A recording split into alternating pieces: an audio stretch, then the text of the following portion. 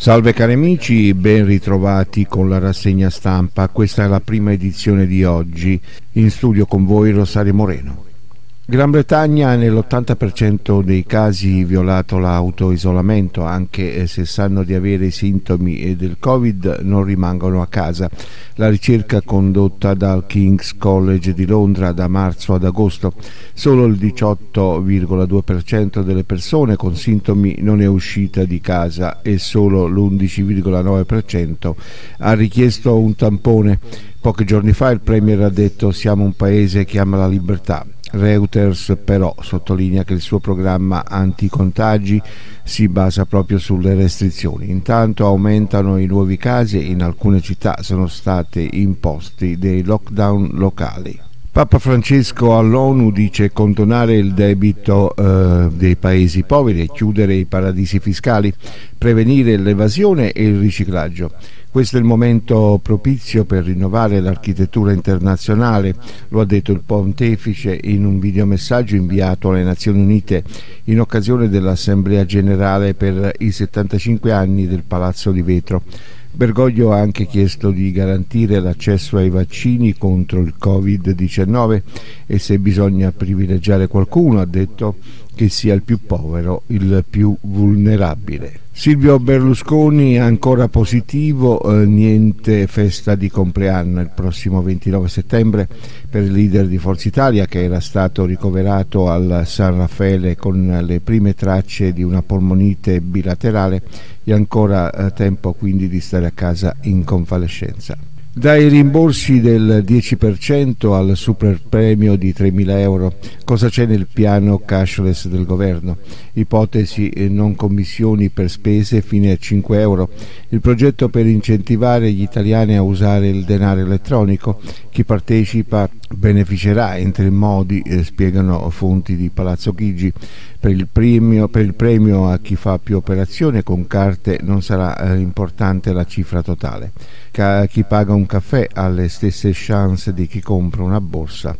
50 milioni di euro saranno distribuiti in premi con la lotteria degli scontrini. Caso amici della regione Lombardia, la moglie di Fontana scrisse al fratello eh, scrivendo chiama l'assessore, sembra siano molto interessati.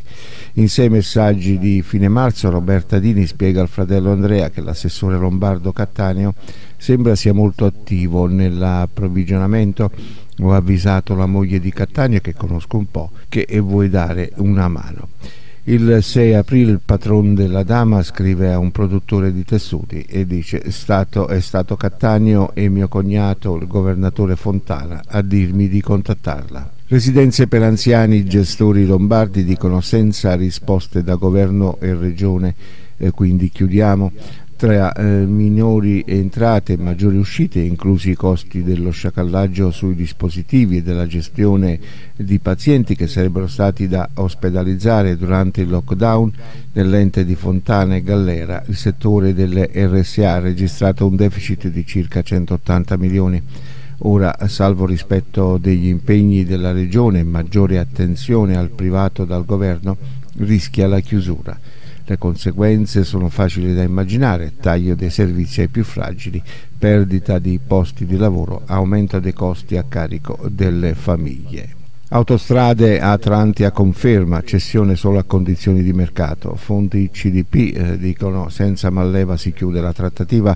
Il gruppo con una breve lettera conferma che ha avviato la procedura per la cessione dell'88% di Aspi a prezzi di mercato e senza sconti. La controllata del MEF invece chiede che eventuali risarcimenti stabiliti in sede di giudizio civile per il disastro del Morandi resterebbero a carico dei Benetton e degli altri vecchi soci. Fonti interne all'ANSA dicono disattesi gli impegni presi a luglio. La replica è stata eh, quindi una richiesta Malleva, non rientra in nostri impegni. Spazio eh, firmato accordo tra Italia e USA per la missione che riporterà l'uomo sulla Luna. La dichiarazione di intenti è stata siglata a Palazzo Chigi dal sottosegretario Fraccaro in collegamento con l'amministratore capo della NASA. Il programma Artemis prevede di utilizzare la Luna, la Luna come base operativa per l'esplorazione dello spazio. L'amministratore delegato di Leonardo Profumo dice che l'intesa vale circa un miliardo di euro per l'industria nazionale. Bene cari amici, con questo è tutto, termina qui questa prima edizione di oggi della rassegna stampa in studio Rosario Moreno. Vi auguriamo buon proseguimento con la programmazione.